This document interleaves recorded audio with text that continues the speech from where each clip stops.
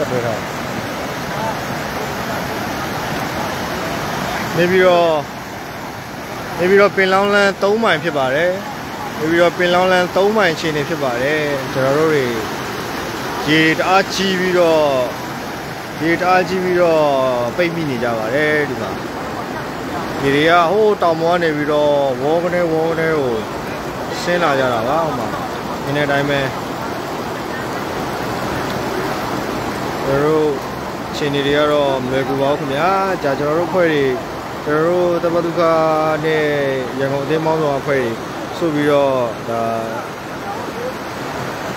စံနေစီတွေပေါင်းလောင်းအင်ဂျီ400လူ2000ကျော်အတွက်ကိုလာပြီးတော့လူကန်းတာဖြစ်ပါတယ်။လာပြီးလူကန်းတဲ့အချိန်မှာကျွန်တော်တို့ပြန်လန်းပေါ့နော်ပြန်လန်းကျွန်တော်တို့ကျွန်တော်တို့ဖွဲ့ရ9မိုင်ထိတက်ခဲ့ပါတယ်9မိုင်ထိတက်ပြီးတော့ကျတော့အခုဒါကျွန်တော်တို့ပြန်အစင်းမှာ ပြန်အစင်းမှာမြင်တဲ့အတိုင်းပဲရေတွေကတစားတစားကျွန်တော်ကားလမ်းပေါ်ထိပါတိုးပြီးတက်လာတာပါတစားတစားကားလမ်းပေါ်ထိပါတိုးပြီးတက်လာတာဖြစ်ပါတယ်အဲရေကြည့်အောင်ဗျာကျွန်တော်တို့ဘယ်လိုပြန်ရပြန်လို့တော့မရတော့ပြန်လို့တော့မလွယ်တော့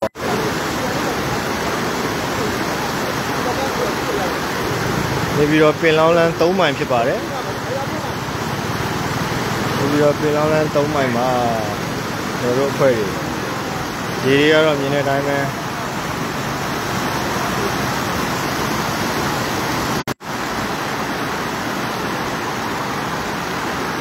လိုင်းထင်နေတာလေးတော့တိခတ်မိကြပါလိုင်းကတော့ကောင်းတစ်ချက်မကောင်းတစ်ချက်နဲ့ဒါဒါကတ္တရာလိုင်းကြီးပါဒါကတ္တရာလိုင်းကတ္တရာလိုင်းကပိတ်မိနေဖြစ်ပါတယ်ခင်ဗျာကတ္တရာလိုင်းကကျွန်တော်တို့ဒီရေဒီရေစီးအောင်ကျွန်တော်တို့ဘလို့မှဖြတ်လို့မရပါဘူး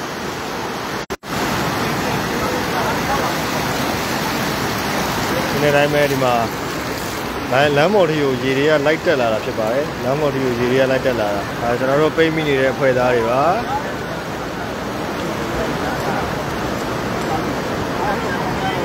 ဒီလားဒီကရိုက်ဒီကဒီကပြန်ရိုက်ခုမှခုမှပေါ်လာတာခုမှခုမှမဟုတ်29သေးတယ်ဩဘန်းကဘန်းတာဘန်းထားတာဟာ